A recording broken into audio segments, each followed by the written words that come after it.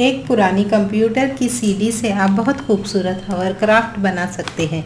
इसके लिए आपको एक गुब्बारा रबर बैंड पुराना स्प्रिंग स्पीकर पेन और एक रबर की चरखी दरकार होगी।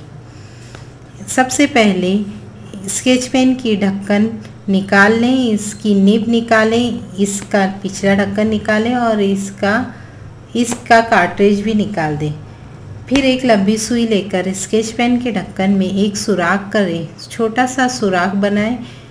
ये इसका अगला हिस्सा है और ये निचला हिस्सा है। फिर इस सुराख को रबर की चरखी में कसकर फंका, फंसा दें। थोड़ा सा ढक्कन को अंदर दबाएँ। इसके बाद एक पुरानी सीडी लें। ये अगला हिस्सा है और ये पिछला हिस्सा। वहाँ आप फेविबॉन्ड या एडेसिव गोंद लगा दें। थोड़ी देर सूखने दें, फिर इसे बिल्कुल दरमियान में रबर बैंड की मदद से अच्छी तरह मजबूती से लगा दें।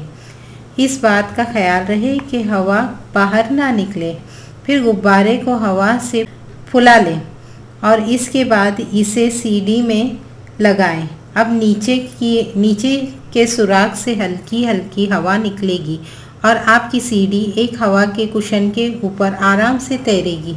अगर चिकनी मेज़ हो तो आप अपने हवरक्राफ्ट को बाएँ से दाएँ धक्का देंगे तो मज़े से तैरेगा।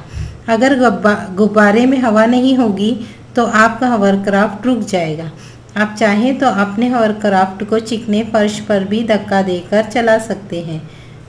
तो वो आराम से एक कोने से दूसरे कोने तक तैरता हुआ जाएगा।